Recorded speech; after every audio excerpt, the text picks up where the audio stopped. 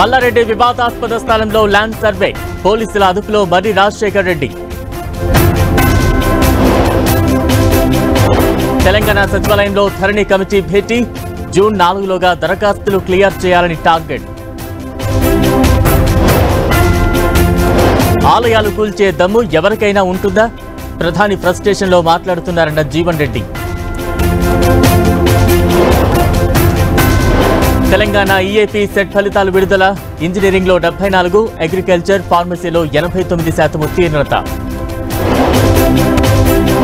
స్వాతి మరివాల్ దాడి ఘటనపై దర్యాప్తు వేగవంతం. కేజ్రీవాల్ సహాయకుడు విభవ్ కుమార్ అరెస్ట్.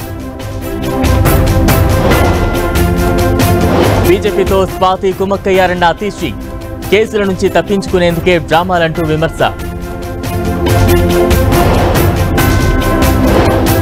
ప్రజలను రెచ్చగొట్టేలా ప్రధాని మాట్లాడుతున్నారు.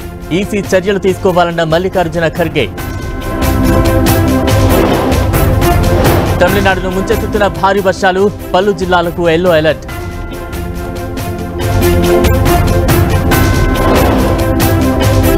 తెలంగాణకు భారీ వర్ష సూచన పలు జిల్లాలకు ఎల్లో అలర్ట్.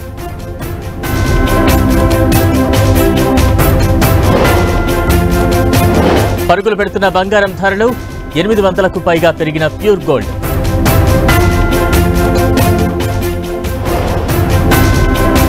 భక్తులతో కిక్కిరిసిన తిరుమల సర్వదర్శనానికి ఇరవై నాలుగు గంటల సమయం.